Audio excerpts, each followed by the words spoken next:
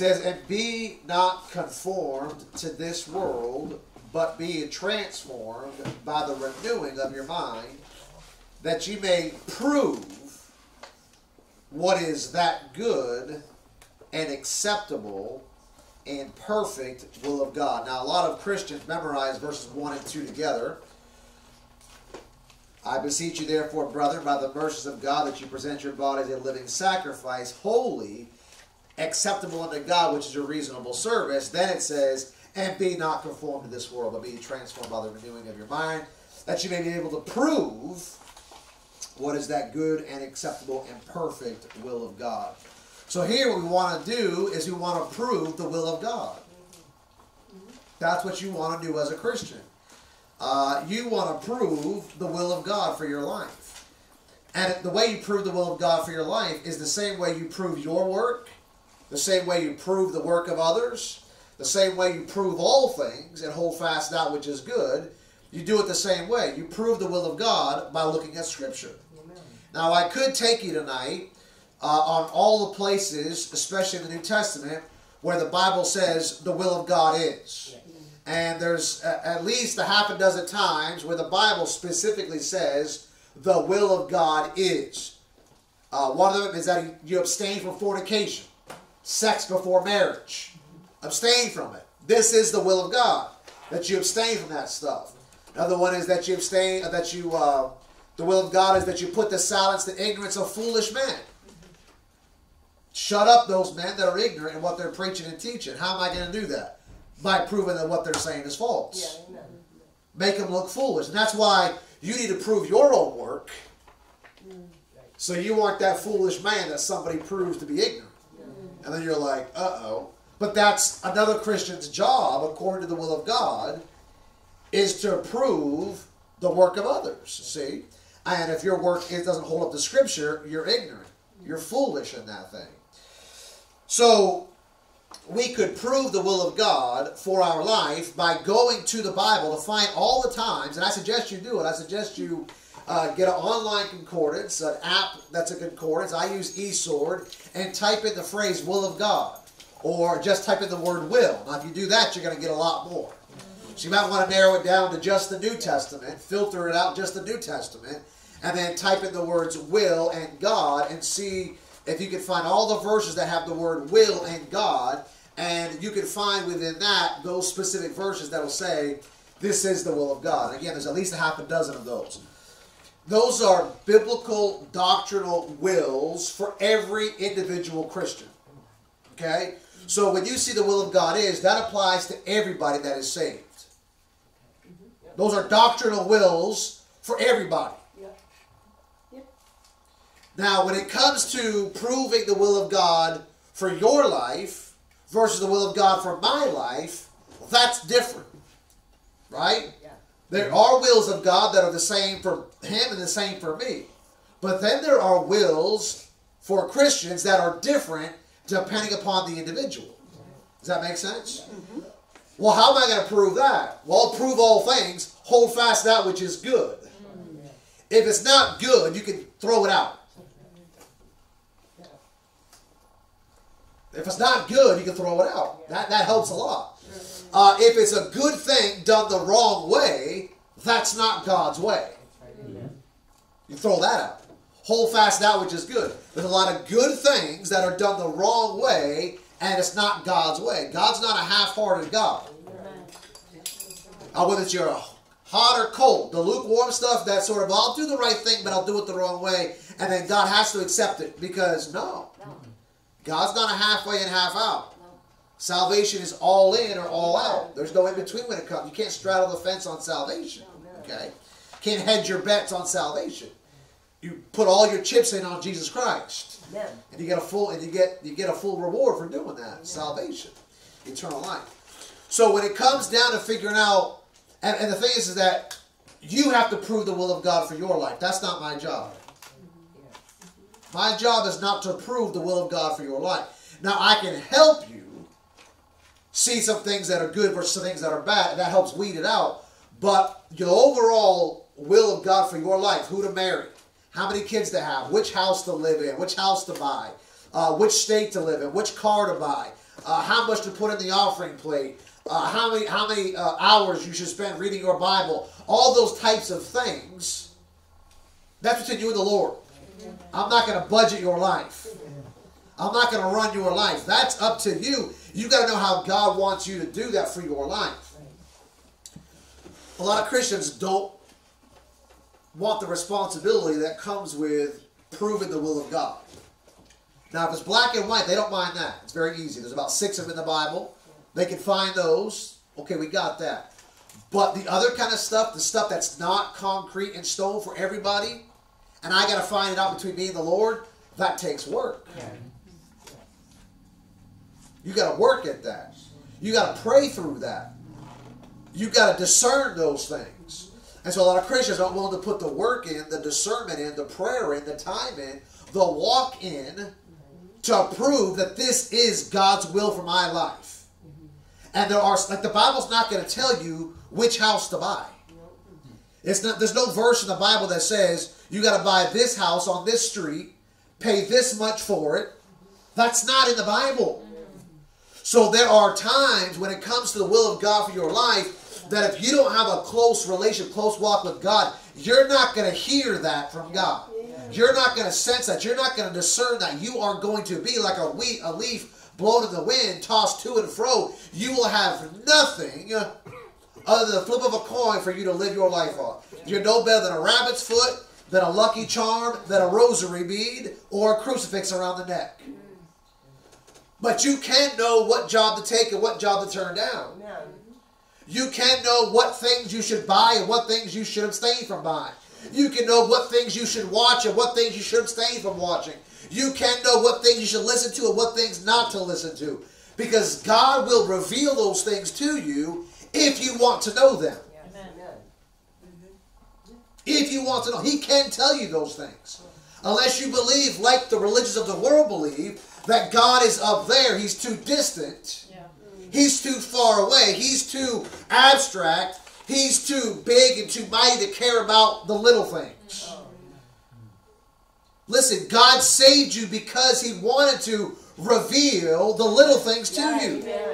God saved you so you could have an intimate personal relationship with Him.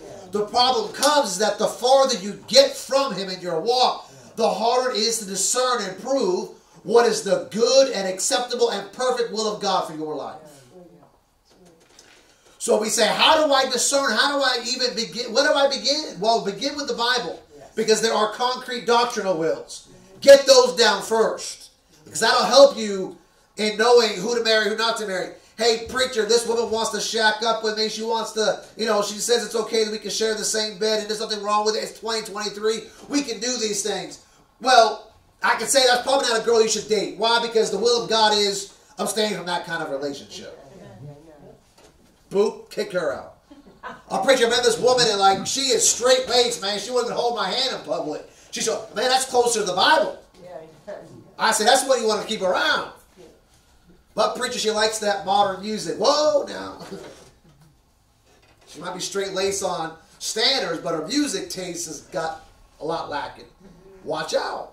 You see what I'm saying? So there are lots of places where the Lord will make things clear, but beyond that, Let's say you let's say you got a Rachel and Leah situation.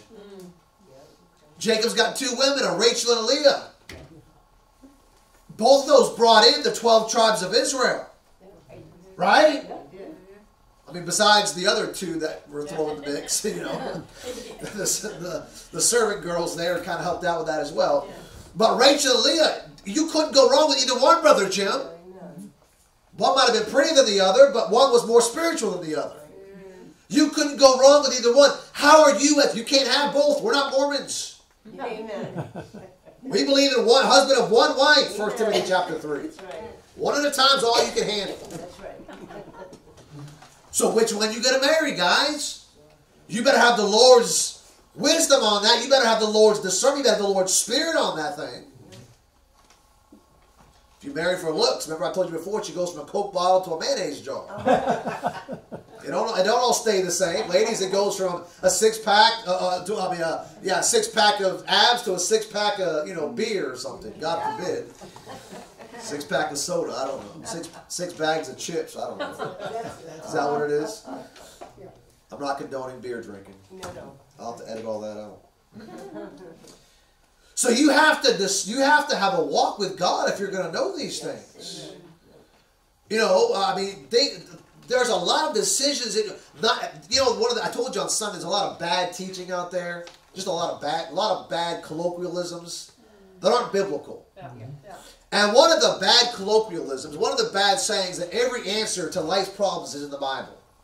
Well, that's not true. Right. Not every problem that you have, not every question you have is in the Bible. What color should I dye my hair when I when it goes gray and I want to dye it? Well, probably better off not dyeing it. Let the gray show through. Yikes. But if you are going to dye it, I don't know. The Bible don't say what color hair to choose. Yeah. Which ice cream should I buy? There's not a, every question is. The Bible says to avoid questions like that. Really, if you're that concerned about it, you probably should avoid. If it's doubtful, it's dirty. But the Bible don't tell you how to govern every question for life. He gives you enough answers to the larger questions, but when it comes, but see, people want to treat the Bible like a Ouija board.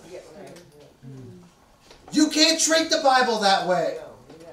You have to have a walk with God that tells you what to buy, who to date, what church. What if you've got two churches identical on doctrine, on everything, and they're two miles from down the road, which one are you going to go to? The Bible's not going to tell you which one to go to. You've got to figure that out between you and God.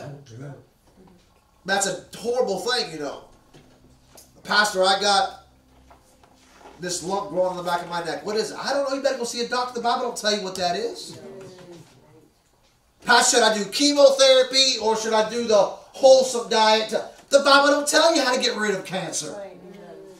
He don't tell you all that stuff. Now he'll give you some things about diet and exercise, but he's not going to tell you which doctor to hire, get the knee replacement, don't get the knee replacement. He's not going to tell you that by just going and plowing through the Bible. That's your walk with God that tells you those things. I know you want the preacher to say, Pastor, is every answer in the Bible, or every answer to life's questions found in the Bible? No, it's not. There's a lot of things that you are up against that there is no answer for. You've never seen it before. A man leaves his wife and his five children behind to fend for themselves. And she's saying, What do I do, Lord? Find me the find me the story in the Bible that matches that description. It's not there. You might get as close as you can to it, but it's not there. So you have got to learn how to have a walk with God. And if God will show you anything out of His Word, it would make sense to you in your situation, but it wouldn't make just sense just by plugging into the computer and saying, What do I do when? Oh, here's the answer. There it is right there. If anything, I'll give you an example. I had an opportunity one time to move and uh, to Hawaii, and uh, and I was on the precipice of going or not going. And I went back upstairs, and I, I think my mom was upstairs with me, and I was didn't know what to do, and I went up upstairs. Now, there's no verse in the Bible that says, move to Hawaii, don't move to Hawaii. That's not there. But the verse that was there that God did show me was wait, I wait on the Lord, wait, I say on the Lord. Now that has nothing to do with going to Hawaii, folks. You better believe that. But on that particular moment, that was my answer yeah, from God. Amen. Now that don't speak to you about a move when you read it tonight, tomorrow, the next day, but it might speak to somebody else who is, should I buy the iPhone 15 or not? Amen. Right? Yeah, amen. Should I take this vacation or not? Yeah. Wait, I said that could be the verse that God speaks to you out of, and it has nothing to do with an iPhone. But if you don't have a walk with God, if you don't have a relationship with God, He will not show you that verse, number one. Yeah. Number two, if He were to show it, you'd miss it a mile away. It wouldn't mean anything to you, right? It wouldn't mean anything to you at all. You're over there trying to plug it into the computer. Yeah. What should I? Does the Bible say anything about buying an iPhone? You want every answer plugged into a computer and generated, spit out like an AI thing. That's not how God works. God is not artificial intelligence. God is not a concordance. God is not a dictionary or a thesaurus. God is a, a living, breathing, holy individual that saved individuals to make them holy, to make them walk with Him. God's not going to be just treated that other way.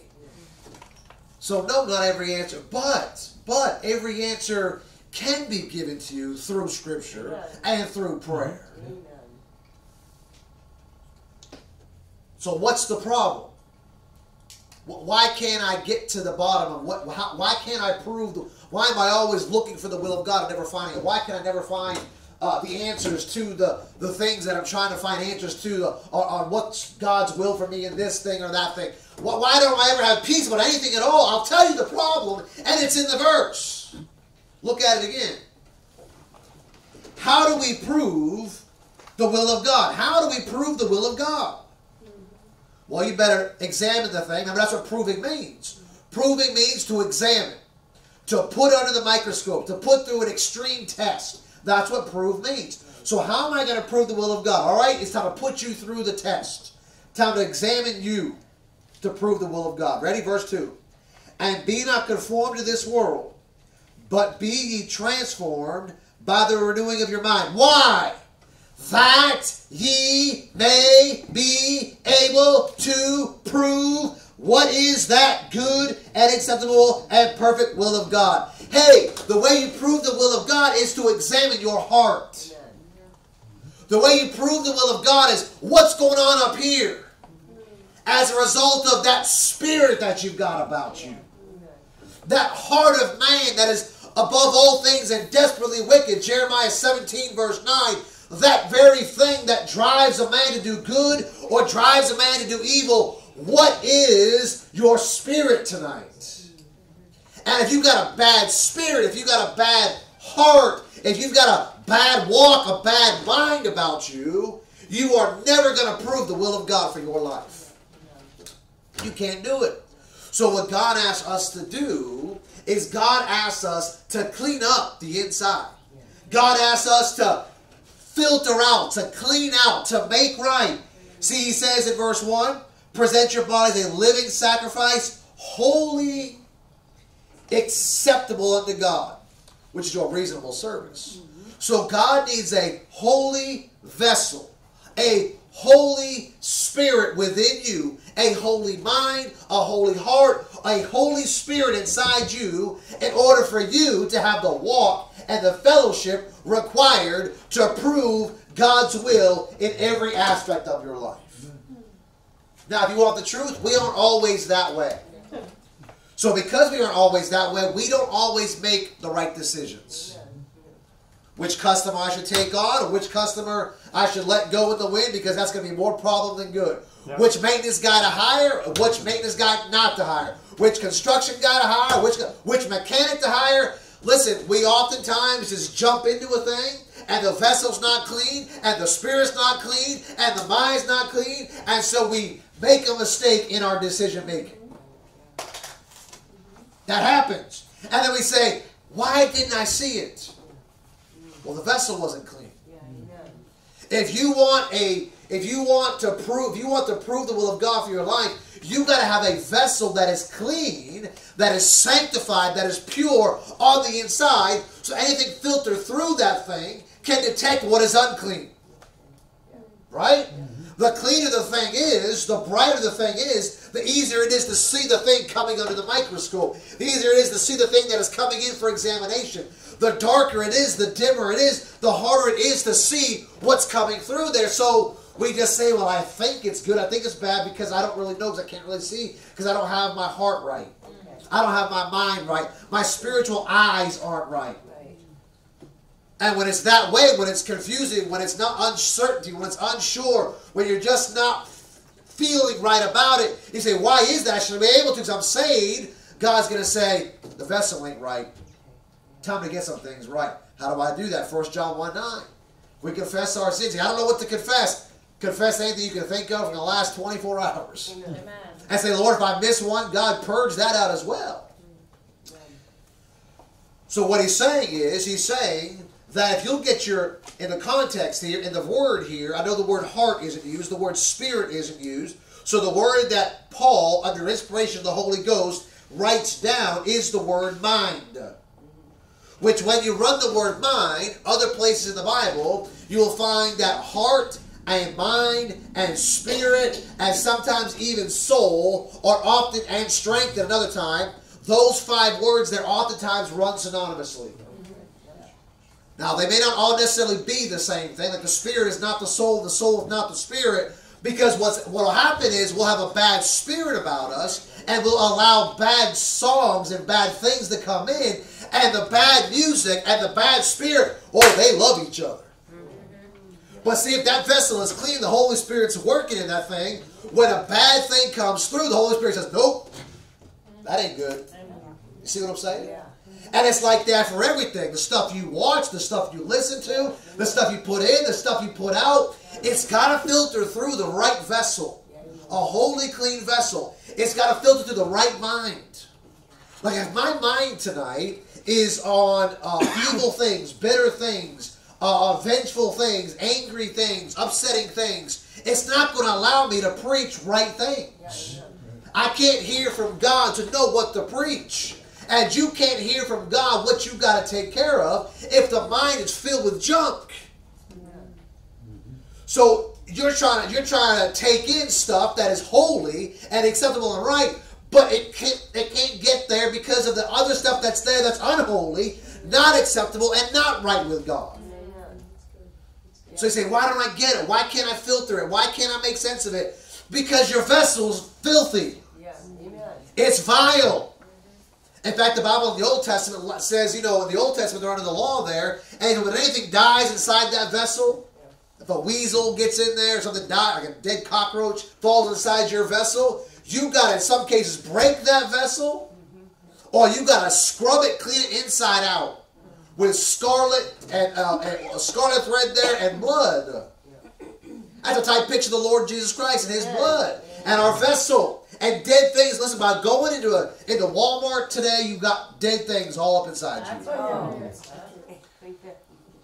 Having an argument with the wife or the kids, you've got dead dead things in there. It's a dead spirit. It's a vile spirit. It's a foul spirit. You didn't lose your salvation, but you're upset, you're angry, you're you're tense, you're anxious, you're nervous, you're you're you're you're, you're you know you you got those things that are that are peace and love and joy, and things that are of the Holy Ghost. You have the things that that come out of the world. You pick up dirty things being in the world. And so if we just allow that stuff to accumulate, it's no wonder we don't know what to do. Yeah, I know. It's no wonder when they have a special, we all run out and buy it even though we ain't got enough money to put in the offering plate on Sunday when it comes by. But we got enough money to fill our yeah. uh, our, our drawers and our fridges and all our, with all the junk. And you never one time filtered it through God.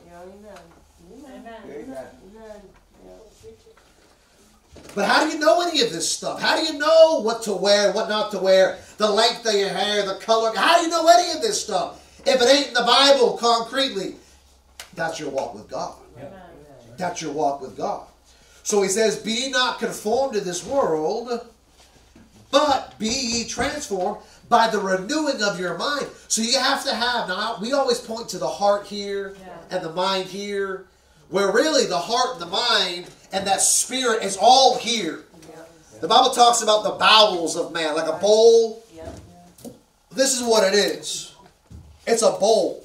The inside of you is a bowl. And whatever you fill into the bowl is what stays there until you empty it out.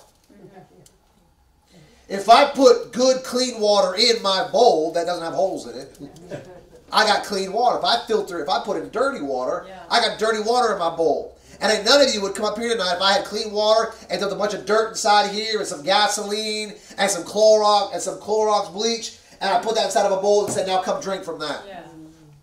None of you are doing it. And yet we're trying to come into church, trying to drink from a holy vessel, out of a holy vessel that's filled with toxic things. know what you got to do? You got to purge it. You got to dump it out.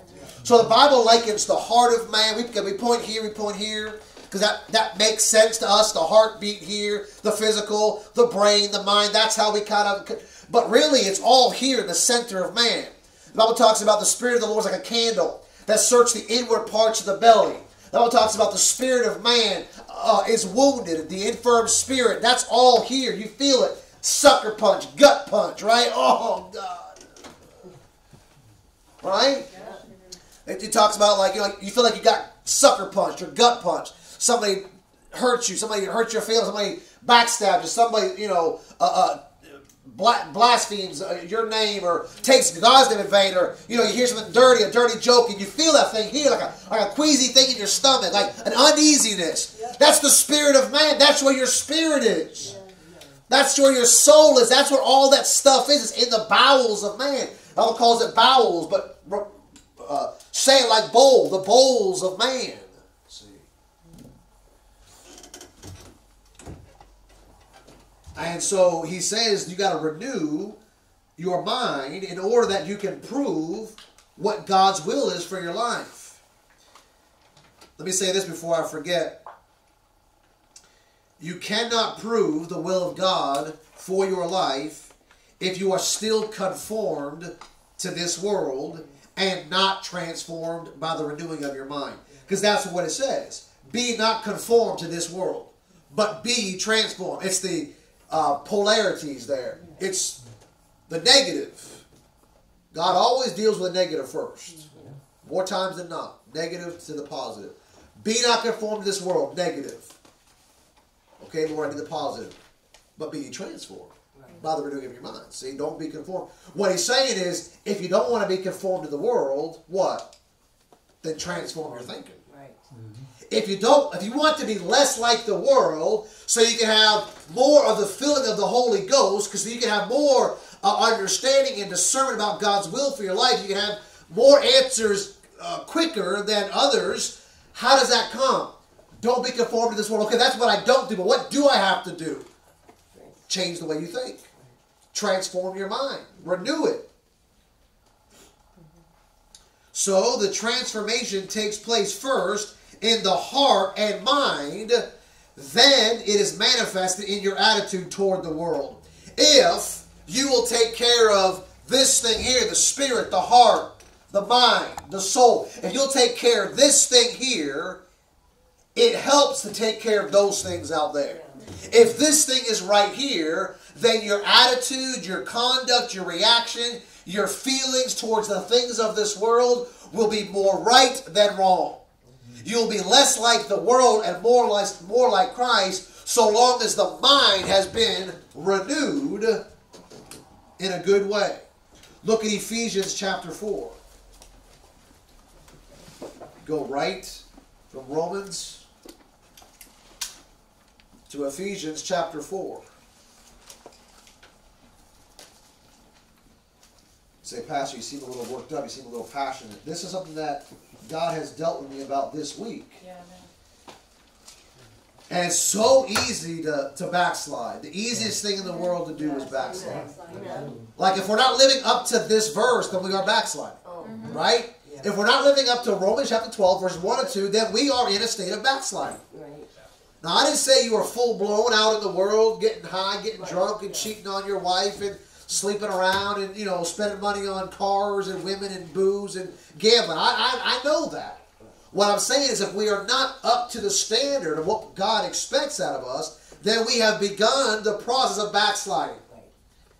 And so we can justify it by saying I'm not as bad as, but how long before you will lower the standard, lower the bar of I'm not as bad as?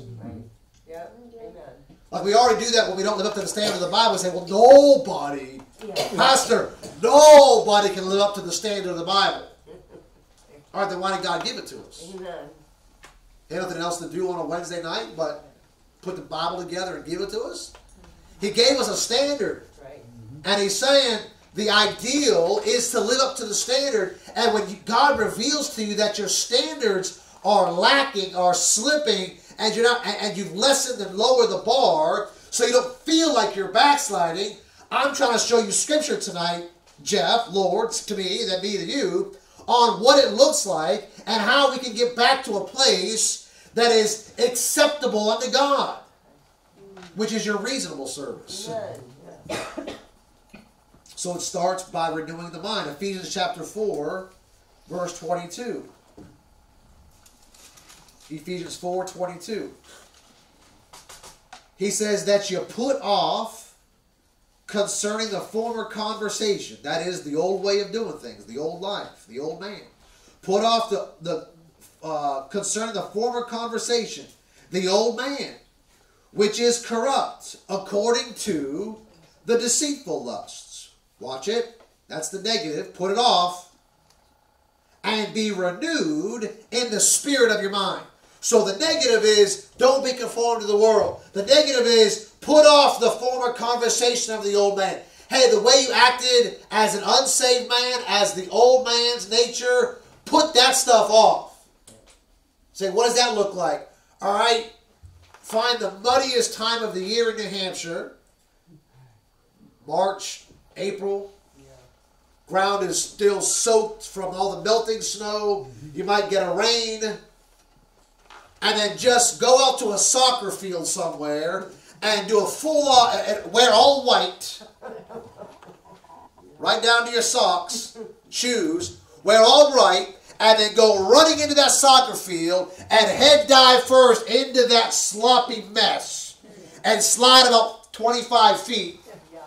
Get up and see what you look like. You know what you're going to look like? A dirty old man. Your old nature. So what have I got? You're going to go to church that way. You're going to go to school that way. You're going to go get married that way. You're going to go to your doctor's office that way. You're going to go to the dentist. You're going to go grocery shopping that way. No. You're going to put it off. You're going to put it off. And then you're going to take a bath. And you're going to renew the day, renew how you feel because you feel sloppy and wet and gross and ucky and muddy. You're going to renew what you think about how you look by getting that other old stuff, dirty stuff off, getting a bath. Now you stand in front of that mirror and you say, I don't look so bad anymore. That's the walk you have with God. Now, sometimes, sometimes we don't go full blown into sin. You know what I mean? Running sin. Some do go that way. They go all in on sin, man. They're like, I'm all in on it. Others kind of take little walks here and there in the mud. And they trip and they fall. They catch themselves, but their hands are dirty, and they kind of clean it off a little bit. It's a gradual thing. But they don't. But they look at the guy who's all in the sin. They're like, "Well, my standard is that, so I'm not that bad." See? But you don't realize you got mud on your face. You're a big disgrace in the eyes of God yeah, in that way. Let that thing cake on there, man. The harder, the more it's caked in the skin, the harder it is. Mm-hmm. You got to scrub harder, get that Brillo pad out. I'm Just saying. That's the way the, the walk goes. And so the spirit of the mind is that's the spirit of man. That's the spirit of the mind. That's that that spirit that God has given to everybody. And he's saying that the longer that spirit goes unchecked, uncleaned, unrenewed, the, the sourer, the fouler, the dirty that spirit becomes. And now it's hard to filter right things through an unclean thing. So what do I got to do? I got to renew the way I think the way I was thinking about the things I watched and the things I wrote and the things I listened to and the things that I ate or the things that I drank or the women that I dated or the men that I dated or the, the jokes that I told. All those things can't keep losing that tonight. All those things can't be filtered through. Well, it's just a part. No, it's going to be filtered through the Holy Spirit. God says you got to work that stuff out. You got to clean that stuff up. You got to think differently now that you're saved. Yeah. And when we're confronted with that, it's like, oh, I don't want to think differently. Yeah, amen. Be renewed in the spirit of your mind. Listen, the battleground is the spirit of man. Yeah, yeah. the battleground the battleground is the mind of mankind. The the mind, they say the mind's a terrible thing to waste, isn't that what they say? It is, but more often than not, we're wasting our minds by suffocating it, by dirtying it, by fouling it up with unclean things or unclean people and allowing them just to stay there, and our spirit becomes foul and bitter, and then we wonder why there's no direction in life. How do I prove God's will? I might want to start by changing the way you think about God's will for your life.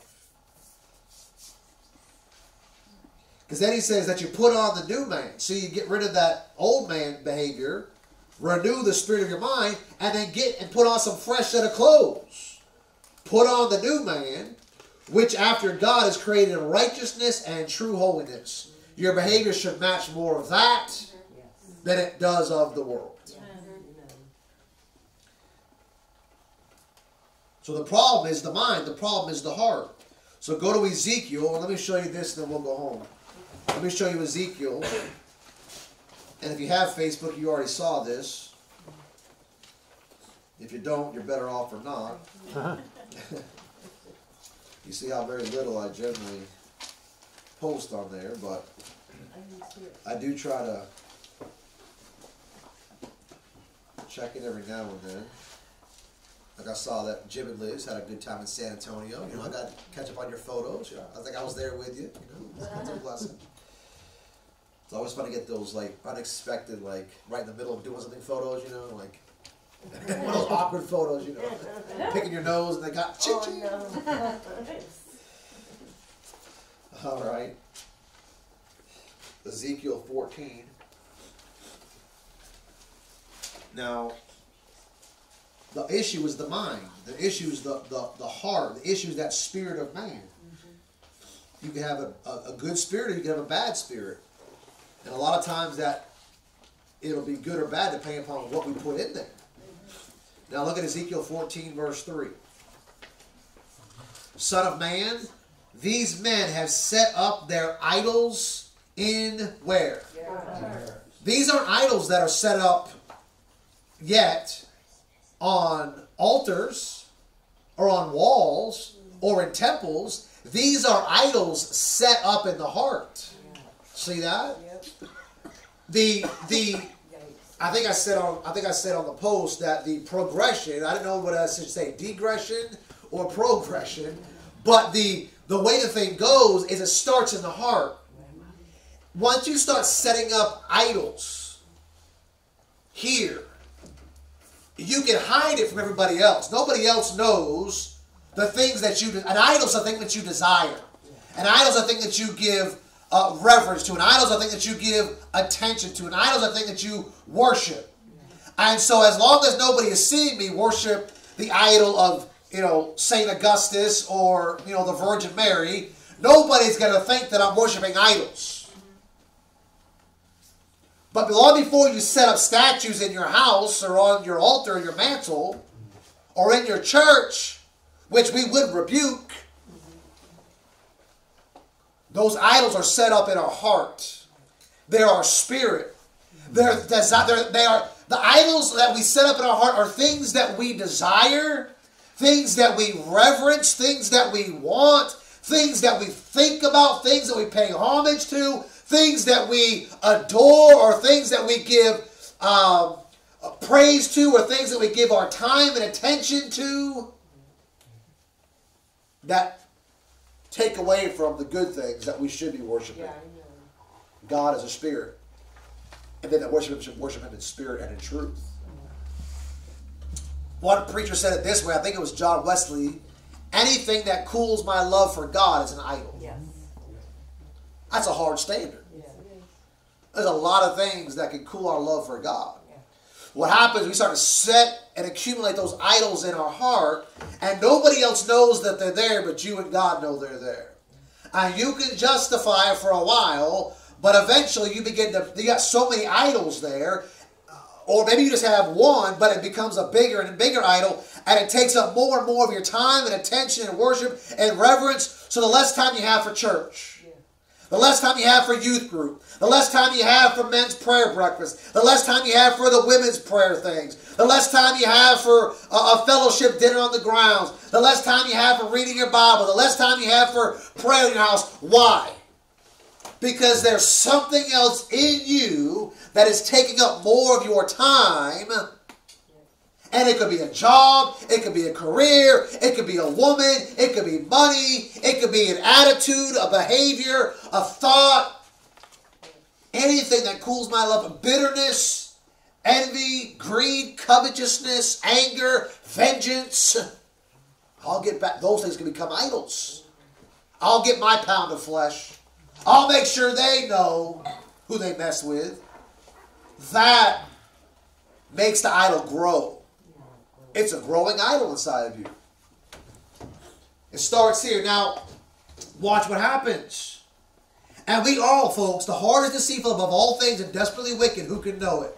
I believe there is in every man a spirit within him that if watered, if fed, if catered to, grows within us. Yes.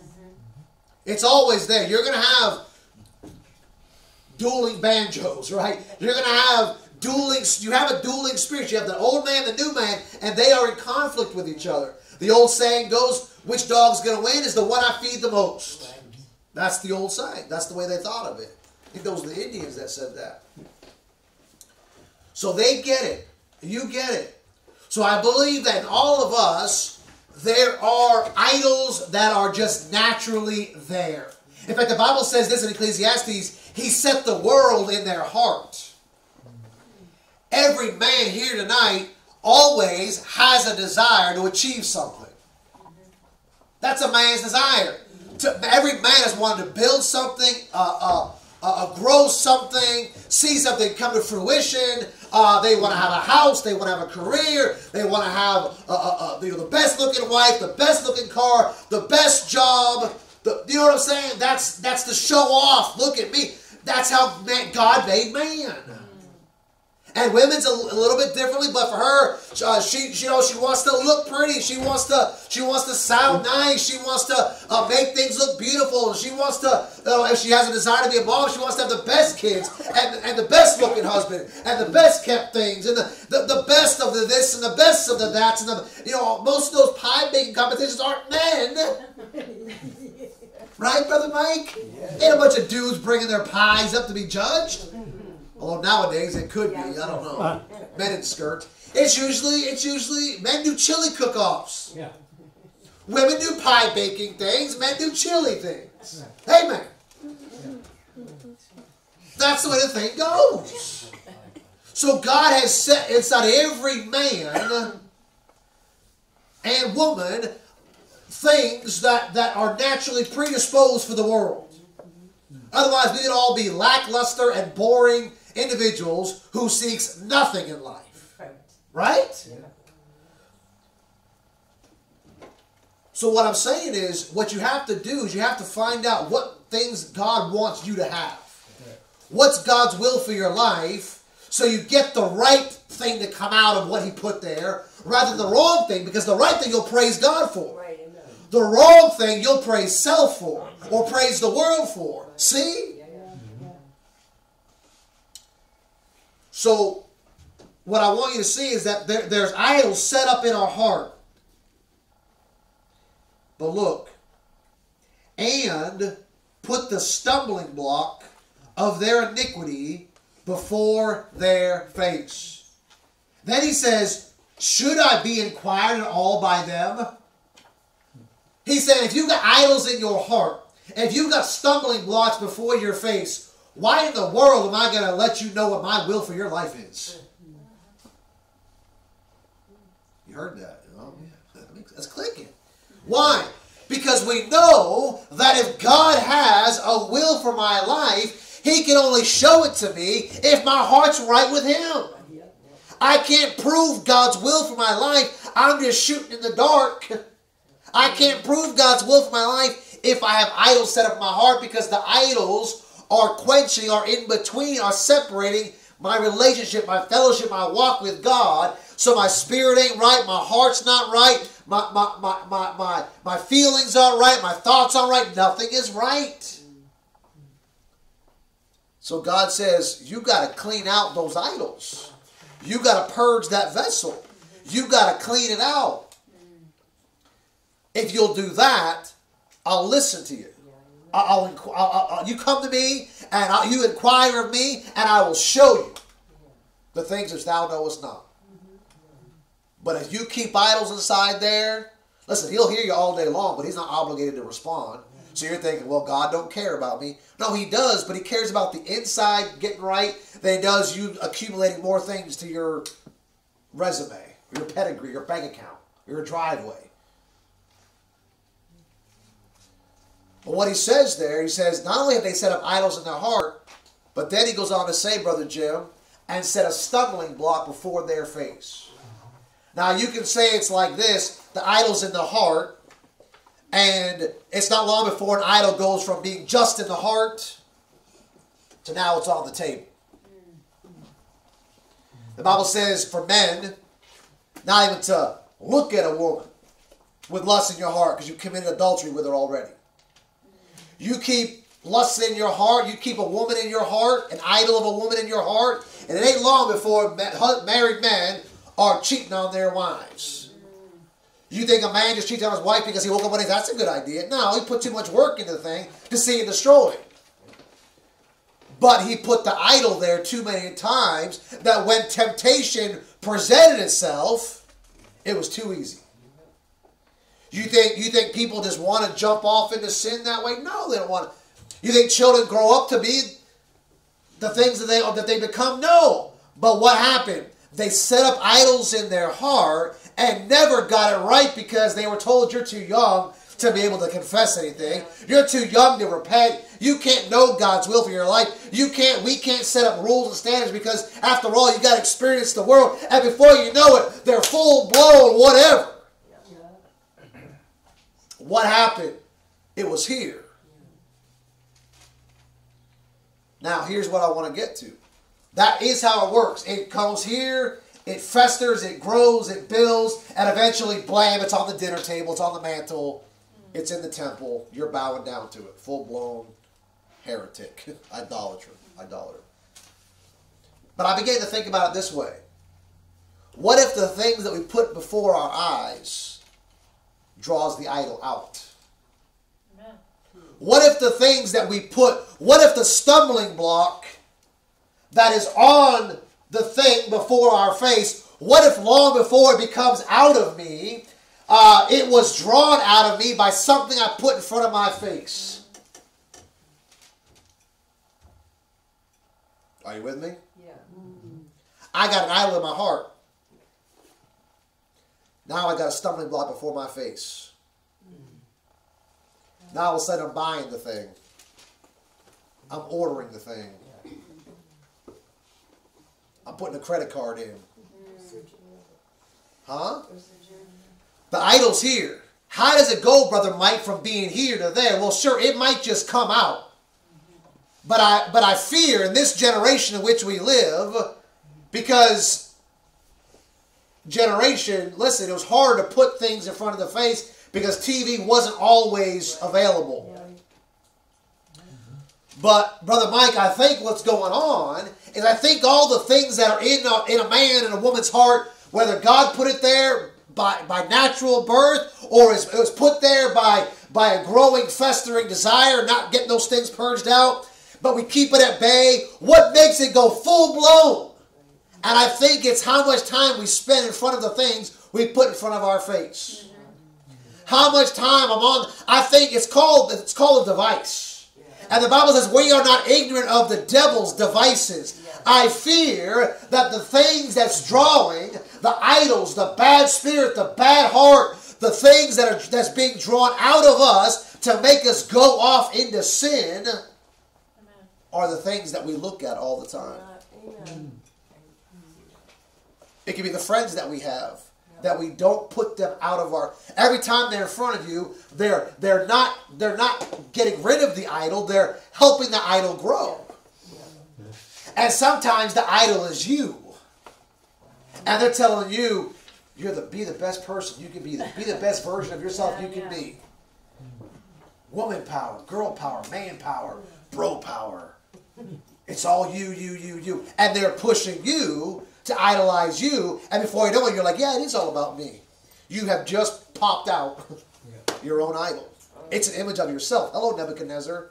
Built an image of himself. Mm-hmm. Having he got there, somebody was telling him, "You're the best king. You're the best preacher. You're the best speaker. Oh, every time, every time you come around, oh, everything gets better. Everything is so much better when you're around." And you just begin to think it's all about me. Where's God in that? Anything that cools my love for God's an idol. So people that we put in front of our face become a stumbling block. That now we are have a full blown idolatry in our homes and the computer screens and the TV screens and the iPhone 15s and all the stuff and all the shows that we do watch festers a bad spirit in us. Festers a spirit of Antichrist in us. The music we listen to festers a spirit of Antichrist in us. And now we are just feeding an idol and feeding an idol and feeding an idol. And before you know it, you're no different than the world that we are not supposed to be conformed to. Right. So how do I keep from being conformed to this world? How do I not become what I know I don't want to be as when I look at the world because it's a mess? Well, you better get this thing fixed. Yeah, you better get it cleaned up. And the only way you're going to get that thing, this thing, wherever you want to put it, the way you get that thing cleaned up and get the right stuff back in is to be careful of what you're looking at. Mm-hmm. Because this thing here and those things there are all things that are never, really, they're never going to be for your good. Amen.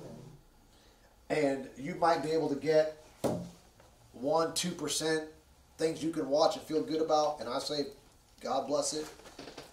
But more often than not, that's a short span before we're like flipping over to something else. Yeah.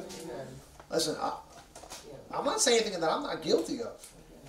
This is my sin. This is my. This is. I'm just preaching a pet peeve, I guess. I'm just preaching something that I, that I think is there. So how do we get in the messes we're in? We have put too many things before our eyes, and our homes are a mess for it. Our churches are a mess for it. Forget the world. It's always been a mess. And the last point I'll make is you want the proof of it, it's in the pudding. Adam's there with Eve in the garden. Yeah. It's one tree. Yeah. Yeah. And it's one fruit. And it's one woman. And it's one command. And it was one sin that plunged the whole entire human race under a curse. Mm-hmm. It didn't take 185 channels or unlimited gigabytes of YouTube searches and Google searches for her to fall into sin. It was one thing dangling from a tree that she put before her face. It obviously was an idol already there. Because he said to her, Ye shall be as gods. The Bible says the lust of the eyes, the lust of the flesh, and the pride of life. Speaking right back to the things. He says, the taste, the touch, the smell, the things that you desire, you can have it and she's got it before her eyes and she's staring at it. Mm-hmm. And before you know it, that very tree, that very fruit became the very stumbling block that the whole world has stumbled over yeah, as a result. Yeah. Heavenly Father, pray, help us tonight, Lord. I know